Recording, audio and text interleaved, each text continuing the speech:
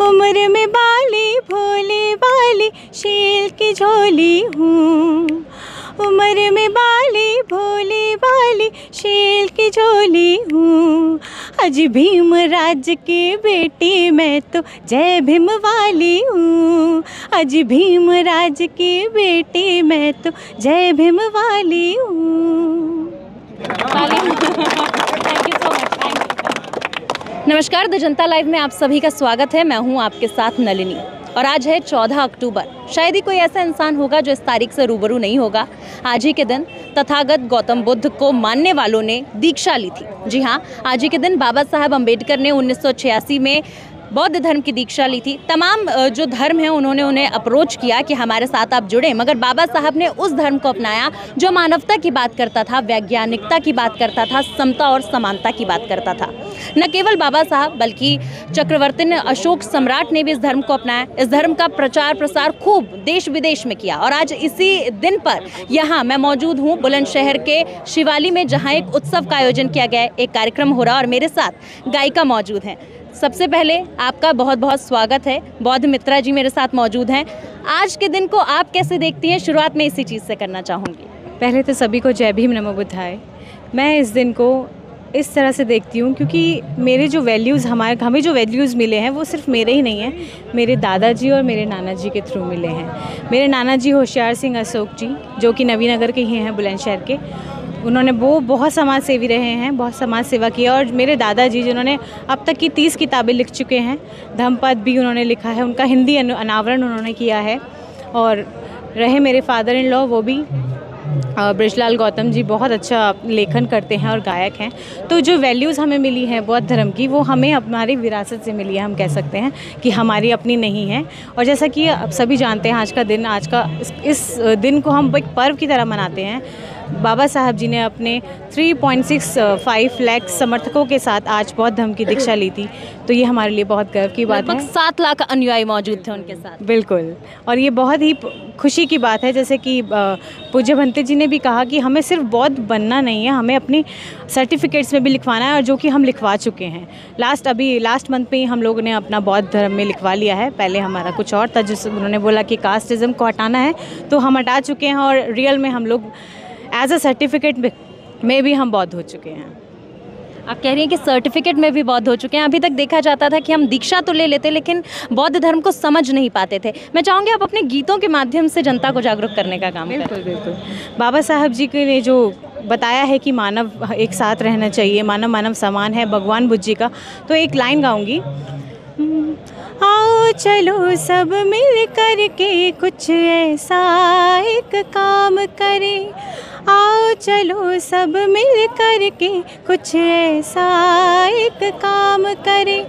पढ़ लिख करके इस जीवन को मानवता के नाम करें। मानवता के नाम करें। मानव मानव समान। हम सबको ये भगवान बुद्ध जी ने गौतम बुद्ध जी ने सिखाया है। बहुत ही मधुर वाणी है आपकी और आपने एक मैसेज देने की कोशिश की। मैं आपसे आपकी जर्नी जानना चाहूँगी साथ ही साथ ये जानना चाहूँगी कि कहाँ से आपको प्रेरणा मिली कि आप बुद्धिज़्म पर जो है गाने बनाएँ और लोगों को जागरूक करने का काम करें? वैसे तो मेरे नाना जी होशियार सिंह अशोक वो समाज सेवी थे। बहुत ऐसे ही मंचों पर वो अपना धमदेशना दिया करते थे कि हमें बौद्ध बनना है बाबा साहब जी को मानना है। उनके थ्रू हमें आया है और दादाजी भी मेरे अब तक की तीस किताबें जैसे कि लिख लिख चुके हैं और वो भी ऐसे ही दमदेशना देते हैं जगह जगह पर। उनकी ही वाणियाँ, उनकी ही बातें सुन सुन के हमें भी जागरूकता मिली है। तो इसी वजह से हमने सोचा कि एक संगीत एक माध्यम है कि जिससे लोग अच्छे से जान पाते हैं। वैसे मैं ट्रिपल एम ए हूँ बी एड हूँ टीचर हूँ, लेकिन मैंने संगीत को चुना अपने धम देशना के लिए क्योंकि इस चीज़ से मतलब संगीत से ज़्यादा जागरूक हो पाते हैं लोग, ऐसा मैं मानती हूँ। बिल्कुल, आपने सही कहा कि संगीत से लोग ज़्यादा जागरूक होते हैं। हम भी जब दिन भर बोर हो जाते हैं तो गाने सुनने लगते हैं, थोड़ा सा मूड रिफ्रेश हो जाता है और उन्हीं गानों में अगर आपको धर्म की जागरूकता भी मिले तो वाह भाई वाह, क्या चटकारे लग जाए। मैं चाहूँगी एक दो गीत आप हमारे दर्शकों के लिए पेश ज़रूर करें। ज्ञान सूर्य तो इस जगत का, भीम राव महान, भारत भूके क्रांति सूर्य को हम करते हैं प्रणाम। हम करते हैं प्रणाम प्रणाम प्रणाम प्रणाम। और एक चीज़ मैं बताना चाहूँगी, मेरा एक इंग्लिश सॉन्ग भी रिलीज़ हुआ है, जो मैंने ही लिखा है, मैंने ही कंपोज़ किया है, बाबा साहब जी के ऊपर। आप यूट्यूब पर देख सकते हैं सिंगर बुद्ध मित्रा के नाम से। बुद्ध मित्रा जी को बहुत लोग जानते हैं, गानों के माध्यम से जानते हैं, मगर लोग ये भी जानना चाहते हैं कि बुद्ध मित्रा जी का जीवन में परिवर्तन कैसे उन्होंने बुद्ध धर्म को कब अपनाया, उन्हें कब ये लगा कि उन्हें भी बुद्ध धर्म को अपनाना चाहिए? मुझे जैसे ही जैसे ही मैंने आपको पहले बताया कि मेरे फैमिली में ही, हमारी तीसरी चौथी पीढ़ी है पीढ़ी है जो बौद्ध धर्म में है। मेरे नाना जी, मेरे दादाजी, मेरे पिताजी, हम सब सारे बुद्ध धर्म हैं। उन्होंने ये नहीं कहा कि आप बौद्ध धर्म ही अपनाओ, लेकिन उनकी दीक्षाएँ देखी, उनकी शिक्षाएँ देखी तो हमें लगा कि बुद्ध धर्म वाकई में अच्छा है। जैसे महान व्यक्ति इंटेलेक्चुअल व्यक्ति बाबा साहब जी ने बुद्ध धर्म अपनाया है, सारे धर्मों का अध्ययन कर कर तो हम तो कुछ भी नहीं है। इसलिए और वाकई में बहुत बेस्ट धर्म है ये। धर्म नहीं इसे मैं धम्म कहूँगी, क्योंकि ये धम्म ही है, बौद्ध धर्म। आपने कहा कि बाबा साहब ने भी कई सारे धर्मों का जो है अध्ययन करने के बाद बौद्ध धर्म को अपनाया था। क्या वजह रही होगी जो बाबा साहब ने तमाम धर्मों को छोड़ के बुद्ध धर्म को अपनाया? आपको क्या लगता है? मेरे मुझे ये लगता है जहाँ तक कि मैंने बुद्ध धर्म को पढ़ा है और इसमें लिखा भी है कि बुद्ध धर्म में मंग मध्यम मार्ग अपनाया गया है।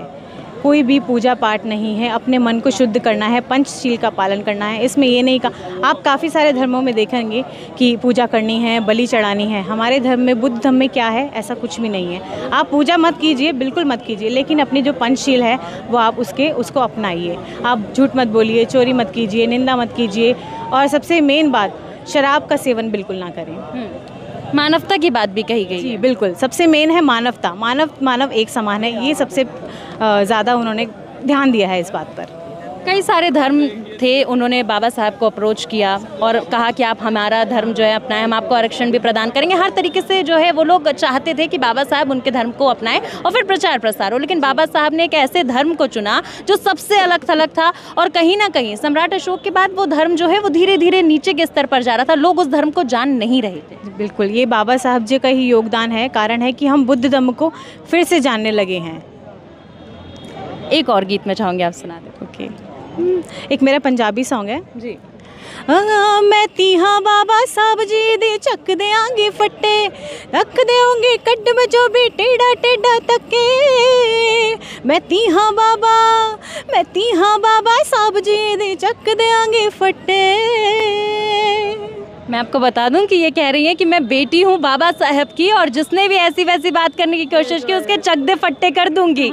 बौद्ध मित्र जी आज के दिन आप क्या मैसेज देना चाहेंगी तमाम युवाओं को? कई सारी महिला क्योंकि आप एक महिला हैं तो महिलाओं को खास तौर पर आप क्या मैसेज देना चाहेंगी? मैं अब सभी तमाम महिलाओं को और पुरुषों को भी यही मैसेज देना चाहूँगी जो भंते जी ने दिया उनकी बात मुझे बहुत अच्छी लगी कि पहले तो आप हम सबको बुद्ध बुद्ध बनना है बुद्ध धर्म का अनुयायी बनना है उसे ग्रहण करना है। उसके साथ साथ मानव मानव एक समान है वो तो है ही। आप लोगों को ये जितने भी कर्म कांड हैं उससे दूर जाना है। जैसे कि घूंघट हो गया पूजा हो गई पाठ हो गई आप अपने अंदर बदलाव लाइए अच्छे इंसान बनकर। बस यही मैं कई सारी महिलाएँ यहाँ भी आई हैं बौद्ध धर्म को मानती हैं मगर घूंघट किए हुए हैं। घूंघट किए हुए हैं तो ये अच्छी बात नहीं है। आप बुद्ध धर्म को अपनाना चाहते हैं तो पूर्ण रूप से अपनाइए। यही मेरा संदेश रहेगा। जय भीम नमो बुद्धाय। आपके जीवन में क्या क्या परिवर्तन हुए बौद्ध धर्म अपनाने के बाद? साथ ही आपका पहला जो गीत है बौद्ध धर्म को लेकर वो कब आपने जो है लॉन्च किया? किस उम्र में लॉन्च किया? वो मैं बहुत छोटी थी। मेरे दादाजी की एक बुक लॉन्च हुई थी धमपद। धमपद का उन्होंने हिंदी अनावरण किया है। तो तब मैंने गाना गाया था उम्र में बाली भोली। भाली मेरा नहीं है लेकिन एक महाराष्ट्र के सिंगर है उनका है। तो वो मैं उस गाने से मैंने शुरुआत की थी। उसके बाद से फिर एल्बम्स बनी और हम गाने लगे। उसके बाद से सिलसिला शुरू हुआ तो सिलसिला रुका ही नहीं। बिल्कुल। और ये रुकना भी नहीं चाहिए सिलसिला। बिल्कुल नहीं रुकना चाहिए। तो आज आपने मंच पे अभी प्रस्तुति कर ली है? जी एक कर चुकी हूँ अभी बाकी है। किस प्रकार से जागरूक करने वाली हैं आज अपने समाज को? क्योंकि देखा जाता है कि समाज जागरूक हो रहा है लेकिन तितर बितर अभी छितराया हुआ है थोड़ा सा। मैं कोशिश करूँगी अपने गाने के माध्यम से उनको एकत्रित करने के लिए वो एक समझ बनाने के लिए ताकि वो बौद्ध धर्म को अब अच्छे से अपनाएँ। बौद्ध मित्र जी, महिलाओं को क्या कहना चाहेंगी? क्योंकि मैसेज तो आपने दे दिया और आपने साफ़ तौर पे कह दिया कि देखिए स्ट्रांग बनने की ज़रूरत है, जो तमाम कुरीतियाँ हैं, उनसे बाहर निकलने की ज़रूरत है। लेकिन उनसे महिलाएँ निकलेंगी कैसे? क्योंकि समाज जो है, आज भी कई सारी कुरीतियों को अपने साथ लेकर चलता है। देखिए, सबसे पहले ये जो कारण होता है महिलाओं का महिलाएँ ही हमें कोई भी धर्म में अब परिवर्तन कर सकती हैं हमारा। तो एक महिलाओं को हमें जागरूक बनाना है, पुरुषों को ये योगदान उन्हें देना पड़ेगा कि उनके साथ लगे। तो एक यही मेरा एक मतलब संदेश है कि महिलाओं के साथ साथ पुरुषों को भी जागरूक होना पड़ेगा क्योंकि उनका साथ ऐसा होता है कभी कभी आ, सास बहु का लड़ाई झगड़ा शुरू हो जाता है। हाँ। है ना? तो से आवाज़ आ रही है। हाँ सही कह रही सही कह रही हैं। तो वो उसमें आप पति साथ देकर उनका योगदान दे सकते हैं कि मम्मी ये गलत है या पापा ये गलत है तो वो महिलाएँ फिर इस तरह से आगे बढ़ सकती हैं। कुल मिलाकर समाज में जो है वो बराबरी की ज़रूरत और बाबा साहब भी चाहते थे इकलौते ऐसे आदमी थे जो ये चाहते थे कि महिलाओं को बराबरी का स्थान मिले। मिले। बिल्कुल बाबा साहब जी बिल्कुल चाहते थे। हिंदू कोड बिल आप पढ़ सकते हैं उसमें सब सब साफ़ लिखा हुआ है केवल हमारी ही समाज की महिलाओं को नहीं उन्होंने जितनी भी समाज की महिलाओं को एक समान अधिकार दिए हैं। जी बिल्कुल। उन्होंने कहा कि मुझे आप दलित के तौर पर मत देखिए आप बहुजन के तौर पर मत देखिए बल्कि एक समाज सेवक के तौर पर देखिए जो हर तबके की महिला के लिए काम करता है जो हर तबके के दबे कुचले समाज के लिए काम करता है। बहुत बहुत शुक्रिया आपका हमारे साथ बातचीत करने के लिए और एक सुंदर प्रस्तुति देने के लिए। तो अभी अभी आपने सुना बौद्ध मित्रा जी को जो कि एक सिंगर हैं और अपने गानों के माध्यम से जनता को जागरूक करने का काम करती हैं। इसी प्रकार से जनता के तमाम मुद्दे आप तक पहुंचाते रहेंगे। बने रहिए द जनता लाइव के साथ। बढ़िया